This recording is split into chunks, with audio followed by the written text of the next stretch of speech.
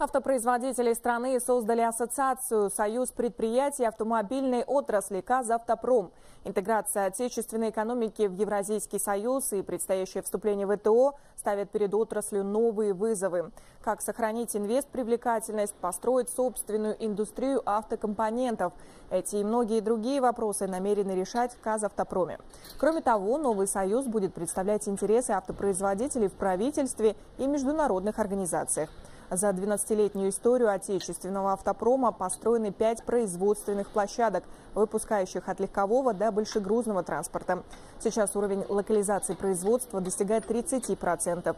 К 2019 году эта цифра должна достигнуть 50%, что позволит не только привлечь в автомобильную отрасль новый поток иностранных инвестиций, но и отразиться на ценообразовании готовой продукции.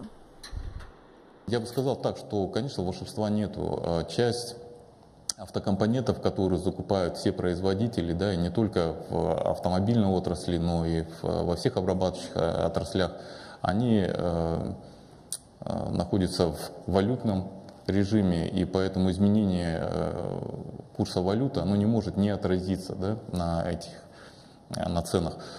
Поэтому следует ожидать каких-то корректировок в следующем году. Сейчас приняты несколько решений по регулированию авторынка, а, основанных на итогах 2015 года. Поэтому я думаю, что вот от этого будет в первую очередь зависеть